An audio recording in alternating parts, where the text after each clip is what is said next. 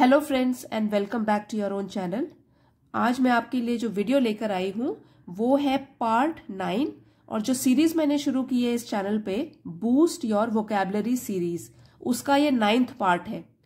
अगर आपने पिछले पार्ट्स नहीं देखे हैं तो आप चैनल की प्लेलिस्ट में जाके उसको देख सकते हैं अदरवाइज़ मैं उसका प्लेलिस्ट का लिंक डिस्क्रिप्शन में भी दे दूँगी। तो आप वहाँ से देख सकते हैं, बहुत ही हेल्पफुल रही है स्टूडेंट्स के लिए और काफ़ी पसंद भी आई है बच्चों को।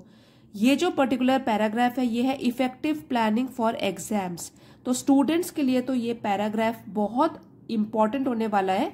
एक तो वो सीखेंगे 25 न्यू वर्ड्स जो हाईलाइटेड वर्ड्स है, वो 25 प्लस है। उसके अलावा मैं एक एक वर्ड का मीनिंग भी बताऊँगी आपको डिटेल में। तो एक तो आपकी वोकेबलरी एनहेंस होगी। उसके अलावा जो ये कंटेंट लिखा गया है कि किस तरीके से हमको अच्छी तरीके से प्लान करना चाहिए एग्ज़ाम्स के लिए उस टॉपिक के ऊपर भी आपकी जानकारी बढ़ेगी। तो आइए शुरू करते हैं ninth part effective planning for exams effective means प्रभावशाली ढंग से और प्लानिंग योजना बनाना फॉर एग्ज़ाम्स एग्ज़ाम्स के लिए। तो एक बहुत ही प्रभावशाली तरीके से जब हम प्लानिंग करते हैं एग्ज़ाम्स के लिए, वो कैसी होनी चाहिए, वो हम सीखेंगे। Planning effectively for studies in preparation for examinations is a crucial strategy for academic success academic success planning effectively तो असरदार तरीके से या प्रभावशाली तरीके से प्लानिंग करना योजना बनाना फॉर स्टडीज़ पढ़ाई के लिए इन प्रेपरेशन फॉर एग्जामिनेशंस परीक्षाओं के लिए तैयारी करने के लिए और इसमें आप प्रेपरेशन की स्पेलिंग देख लीजिए, क्योंकि प्रिपेयर में तो आता है P R E P A R E ठीक है? जब प्रेपरेशन लिखेंगे तो ई e हट जाएगा और यहाँ पे आएगा प्रेपरेशन तो आप स्पेलिंग्स पे भी ध्यान दो साथ साथ इसीलिए हम जब रीडिंग करते हैं तो स्पेलिंग्स पे भी माइन्यूटली हम ध्यान देते हैं। तो जो मैं बता रही हूँ, वो भी आप ध्यान से सीखेंगे तो आपकी स्पेलिंग्स भी स्ट्रांग हो जाएँगी। प्रेपरेशन तैयारी फॉर एग्जामिनेशन परीक्षाओं के लिए is a crucial strategy is a है एक क्रूशियल मीन्स बहुत ज़रूरी, बहुत इंपॉर्टेंट और स्ट्रैटेजी इज़ अगेन प्लानिंग या एक्शन जो हम गोल अचीव करने के लिए प्लानिंग करते हैं। स्ट्रैटेजी जो हम प्लान बनाते हैं, कोई भी गोल हासिल करने के लिए या अचीव करने के लिए। फॉर एकेडेमिक सक्सेस यहाँ पे हमारा गोल क्या है? एकेडेमिक सक्सेस शिक्षा की फ़ील्ड में सफलता हासिल कर सेंटेंस का मीनिंग समझते हैं।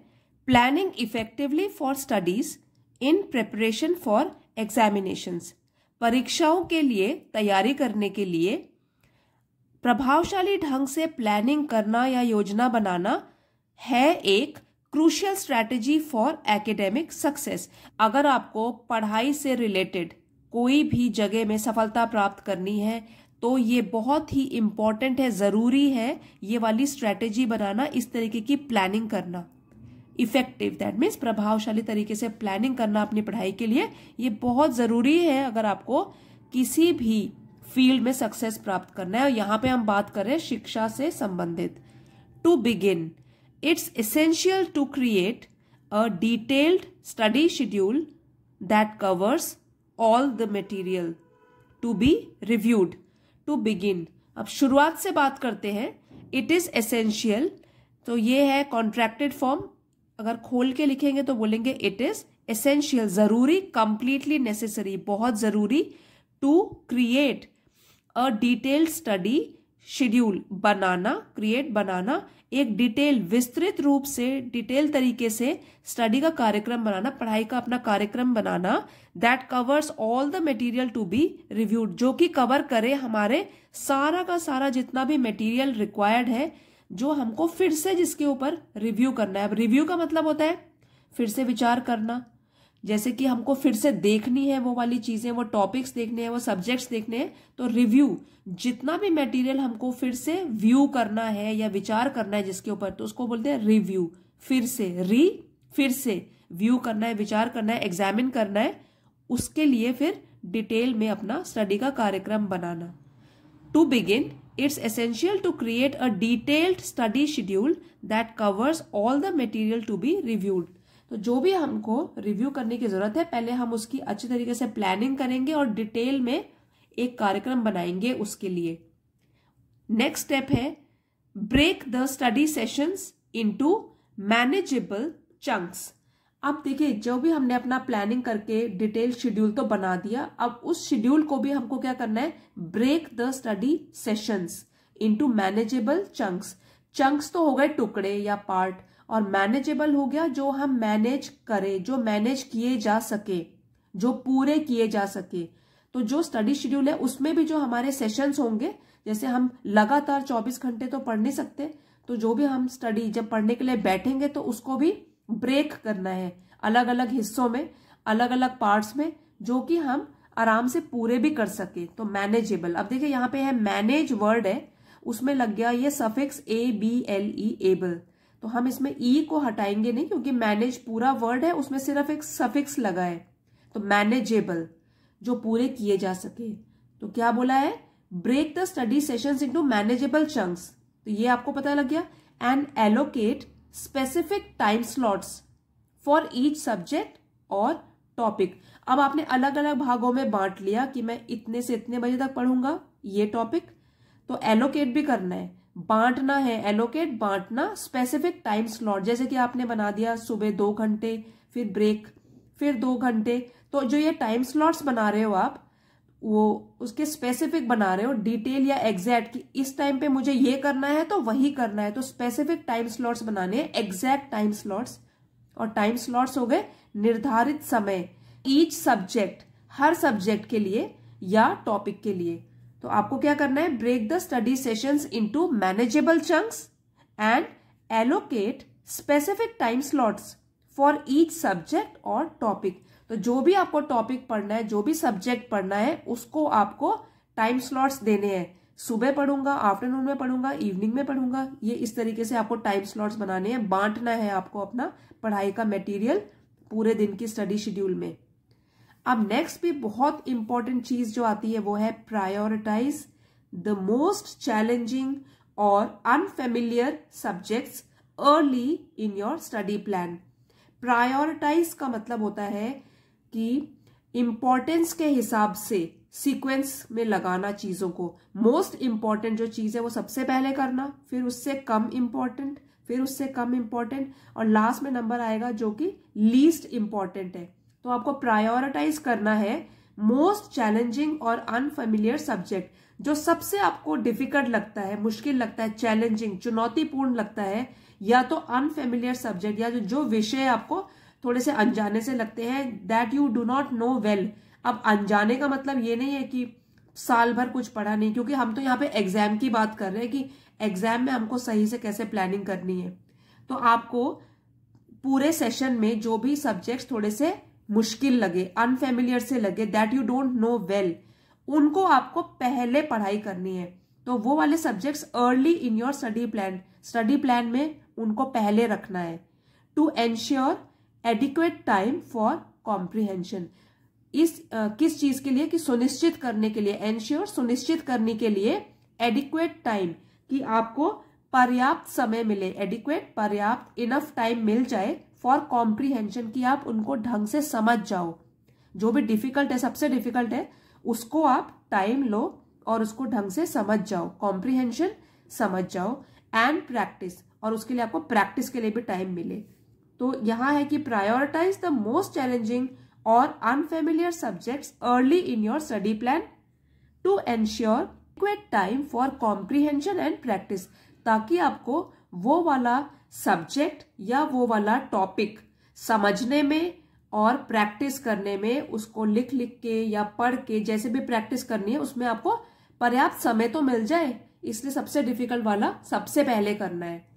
अब है एडिशनली इसके अलावा set clear achievable goals for each study session तो इसके अलावा आपको सेट करने हैं अपने लिए बिल्कुल स्पष्ट रूप से जो अचीव किए जा सके गोल्स तो इस तरीके नहीं है कि बहुत सारा मटेरियल इकट्ठे ले लिया कि मैं इन दो घंटों में इतना सारा मटेरियल करूँगा। क्योंकि हर एक स्टूडेंट अलग अलग होता है और हम सबको पता होता है हम में कितनी कैपेबिलिटी है, कितनी क्षमता है। तो हमको क्या करना है, पहले जो भी हम अपने गोल सेट करेंगे, वो ऐसे करें जो अचीव किए जा सके। Achievable those which are achievable जो हासिल किए जा सके। फॉर ईच स्टडी सेशन हर एक जो स्टडी सेशन हमने बनाया है, चाहे सुबह का आफ्टरनून का इवनिंग का, हर स्टडी सेशन में हम वैसे गोल सेट बनाएँगे अपने लिए, जो कि हम पूरे भी कर सके।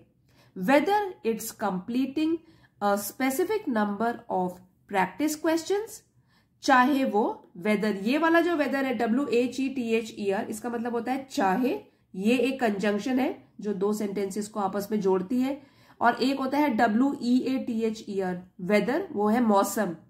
तो चाहे it's completing a specific number of practice question चाहे वो हो कि हमको कुछ इतने नंबर ऑफ़ प्रैक्टिस क्वेश्चन इतने क्वेश्चंस करने हैं तो हमने जैसे बोल दिया कि चलो हमको फिफ्टी क्वेश्चंस करने हैं।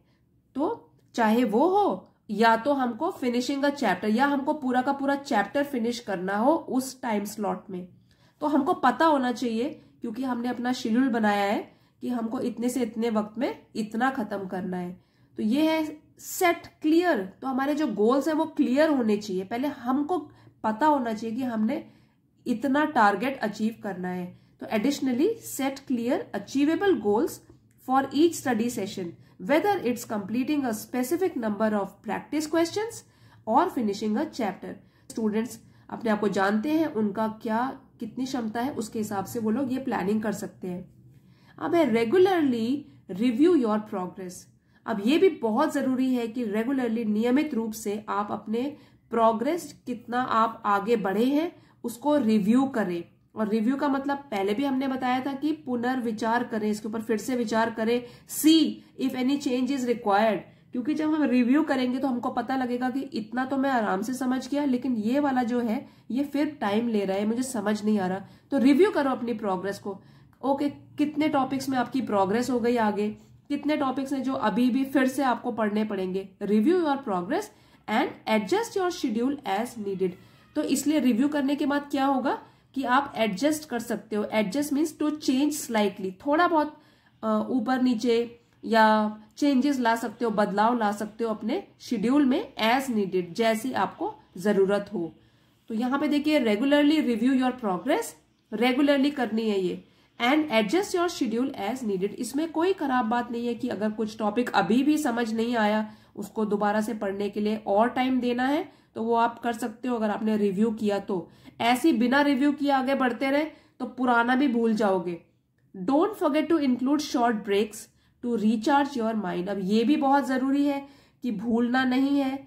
मत भूलिए इंक्लूड करना, शामिल करना छोटे छोटे ब्रेक्स शॉर्ट ब्रेक्स छोटे छोटे breaks to recharge your mind अपने दिमाग को तरोताजा करने के लिए रिचार्ज करने के लिए ड्यूरिंग स्टडी सेशंस जो भी आपने अपने लिए पढ़ाई के सेशंस बनाए हैं, उसमें छोटे छोटे ब्रेक्स ले सकते हो दस पंद्रह मिनट के। लेकिन उसमें मोबाइल से दूर रहना टेक्नोलॉजी से दूर रहना है। छोटे ब्रेक चाहे आप बालकनी में खड़े हो जाओ, चाहे थोड़ी देर फ्रेश एयर में चले जाओ, या बातें कर लो फैमिली मेंबर से भाई बहन से, छोटे घर में, किसी से भी बातें कर लो। तो लेकिन इसमें टेक्नोलॉजी या फिर मोबाइल और टीवी से तो दूर रहना है, ठीक है? छोटे दस पंद्रह मिनट के ब्रेक लेना है, उससे आपका माइंड जो है तरोताजा हो जाएगा। तो नेक्स्ट है लास्टली और ये लास्ट एक पॉइंट जो ध्यान रखना है, वो है अवॉइड लास्ट मिनट क्रैमिंग आपको दूर रहना है अवॉइड करना है, दूर रहना है लास्ट मिनट क्रैमिंग क्रैमिंग का मतलब होता है कि रट्टा मारना ठूस ठूस के अपने दिमाग में चीज़ों को भरना। तो वो जो लास्ट मिनट में जो जब समय कम रह जाता है और कम टाइम में आप अपने दिमाग में बहुत सारी चीज़ें भरने की कोशिश करते हो, उससे बचना है।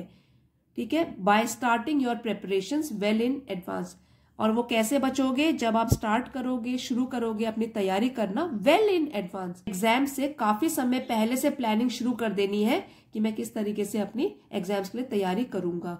तो ये आपको एडवांस में प्लानिंग कर लेनी है। और वो भी वेल इन एडवांस ही टाइम पर। Allowing for thorough revision allowing ताकि आपको टाइम मिल सके, इसको बोलेंगे थरो थोरो नहीं, बोलेंगे thorough thorough revision thorough means complete या पूरा रिवाइज कर सको। अब जब पूरा आप एक बार पढ़ लोगे ढंग से, उसके बाद उसको जो आपके डिफ़िकल्ट कॉन्सेप्ट है, जो समझ नहीं आए, आपको रिव्यू के वक्त पता लगा कि मेरे को ये वाली चीज़ समझ नहीं आई तो उसको दोबारा पढ़ना है। फिर लास्ट में आपको टाइम मिल सके रिवीजन करने का भी। इसलिए एडवांस में अच्छी से प्लानिंग करनी है, ताकि आपको रिविजन का भी पूरा टाइम मिल सके। एंड रिड्यूसिंग स्ट्रेस इसलिए तनाव भी इससे कम होगा। एज द एग्जामिनेशन अप्रोचेज जब हमारी परीक्षाएँ नज़दीक आएँगी अप्रोच नज़दीक आना।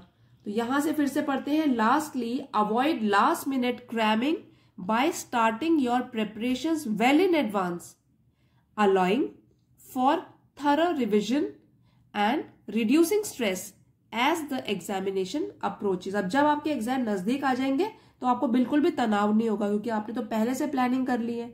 आपने पढ़ाई भी ढंग से की है रिवाइज भी किया है। Effective planning ensures that you cover all necessary material तो अगर असरदार ढंग से आप प्लानिंग कर लेते हो तो ये सुनिश्चित करता है एंश्योर्स सुनिश्चित करता है that you cover all necessary material कि आप कवर कर ही लोगे सारे ज़रूरत वाले मटेरियल जो भी ज़रूरी है, वो भी मटेरियल कोई भी टॉपिक जो भी ज़रूरी है, वो आप अच्छे ढंग से कवर कर लोगे। तो इसलिए प्लानिंग करना और प्लानिंग कोई ऐसी वैसी प्लानिंग नहीं जो आप बीच में आधे में छोड़ दोगे इफ़ेक्टिव तरीके से, असरदार तरीके से, जो आपको लगता है कि मैं पूरी कर भी सकूँ, उस तरीके से प्लानिंग करनी है। तो cover all the necessary material retain information और रिटेन का मतलब है अपने दिमाग में बनाए रखना। जो भी आपने पढ़ा है, जितनी रिवीजन किया है तो वो अपने दिमाग में रखना। क्योंकि लास्ट मिनट क्रैमिंग अगर होगी, दिमाग बहुत भर जाएगा तो आप कंफ्यूज हो जाओगे। इसलिए टाइम पे आपने रिवीजन करना शुरू कर दिया तो रिटेन भी कर पाओगे उस जानकारी को। रिटेन मीन्स अपने बनाए रखना। यहाँ पे रिटेन का मतलब है कि जो भी पढ़ाई करी है, जो भी जानकारी मिली है आपको, उसको बनाए रखना अपने मन में, दिमाग में। And perform your best during examination और परफॉर्म प्रदर्शन करना योर बेस्ट अपना सर्वश्रेष्ठ, जितना हो सकता है, उतना बेस्ट ड्यूरिंग एग्जामिनेशन परीक्षाओं के समय में। तो effective planning ensures that you cover all necessary material retain information and perform your best during examination तो ये जो टॉपिक था, इसने आपको जानकारी दी कि आपको किस तरीके से एग्ज़ाम्स के लिए इफ़ेक्टिव तरीके से प्लानिंग करनी है। तो आपको बहुत अच्छी वोकेबलरी इसमें सीखने को मिली है। साथ ही जो टॉपिक से रिलेटेड जानकारी मिली है, वो तो बहुत ही इंपॉर्टेंट है। तो आई होप आपको आज का वीडियो पसंद आया होगा और ज़रूर आपने कुछ ना कुछ सीखा होगा फ्रेंड्स आपको ये वीडियो पसंद आया है तो प्लीज़ अपने फ्रेंड्स के साथ फैमिली मेंबर्स के साथ, जिसको भी ज़रूरत है एक के टॉपिक्स की, उनके साथ इसको शेयर कीजिए. वीडियो को लाइक ज़रूर करना और जो चैनल पे नए हैं please subscribe to the channel channel का हिस्सा बनिए और मुझे भी सपोर्ट कीजिए. Thank you everybody for watching see you next time